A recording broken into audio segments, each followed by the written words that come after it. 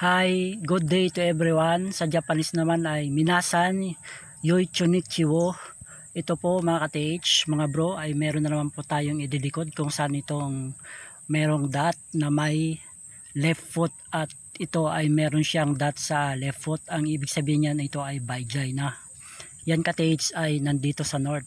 At ang kanyang coordinate ka-TH ay yung nandun sa taas. Ito ay ating nasukat yan ka-TH at sasabihin ko lahat yan ka-TH kung ano ang tamang decoding dito sa sukat papunta sa bird spot ka-TH. Ito ay nandito sa north ito.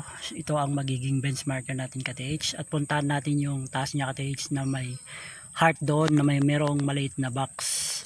Yun ay top type of box.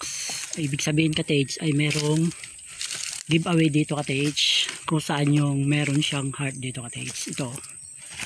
Heart ito ka-TH na parang arrow din siya ka-TH. Ito yung maliit na box. Possible na meron siyang giveaway dito ka-TH ito malit na box yan. Yan. Kaya ka-TH yung arrow niya ka-TH ay nakapoint dito kung saan ang parting is ka-TH ang is kasi dito. At ito ang pinupoint ng arrow niya ka-TH at nasukat natin mula dito sa my heart ka-TH dito ay 2 feet layo. Maaring merong giveaway dito ka-TH kasi ito naka flat siya flat ito tawag dito arrowway papunta dito ka-TH kaya maaring merong maliit lang na box na giveaway dito ka-TH at ito ka-TH sa may heart na ito nasukat natin ang coordinate nito na ang benchmarker natin doon ay layo, sarado 8 feet papunta dito ka-TH ngayon ka-TH ang coordinate naman nitong uh, nandito sa north na dito tayo nag-base at ito na rin ang magiging benchmarker natin ay meron siyang coordinate doon na may nakaugit na fire element TH at mamaya ay lapitan natin. Dito TH sa parting is yan naman ang is na ang coordinate naman dito. TH ito ang is. Ito. At meron siyang araw TH oh. tas yung araw niya naka-direction dito TH at ang kanyang arrow way naka-direction din dito TH kaya ang tinutukoy niya ka-TH ay dito ang kinaroroonan ng bird spot ka-TH. Ngayon dito ka-TH, makikita nyo ito. Meron din siyang arrowway ang tawag dyan. Ito ang arrowway.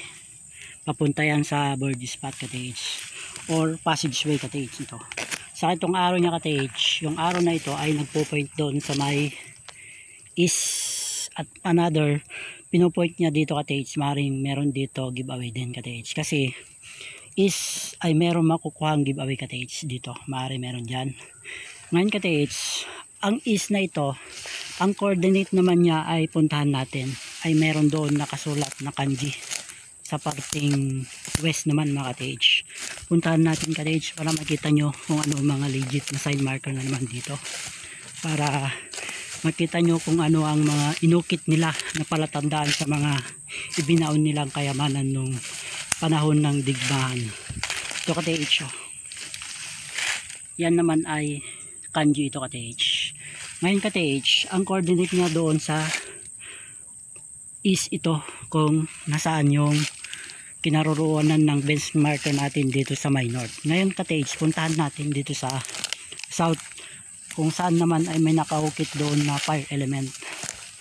Yan ang coordinate ng north KTH dito sa south. Para makita nyo KTH kung ano ang mga legit na inukit nila dito para palatandaan ng mga iniwan nila at ibinakon na kayamanan ng Yamashita the treasure ito KTH ang tawag dyan ay fire element.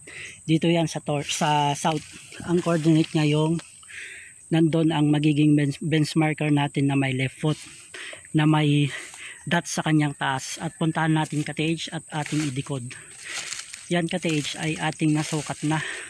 Malalaman natin ka-TH kung saan yung eksaktong bird spot ka-TH at yan ay aking sinukat kanina bago ako mag vlog ng ka-TH ito ka-TH tatayo tayo dito ka-TH makikita nyo ito itong bato na to at yung arrowway doon or passageway cottage yung direction siya dito dito ang tumbok nila at saka yung left foot cottage na may dot ang sukat niyan yung left foot cottage ay 5 feet ang 5 feet layo papunta dito yan ang 5 feet.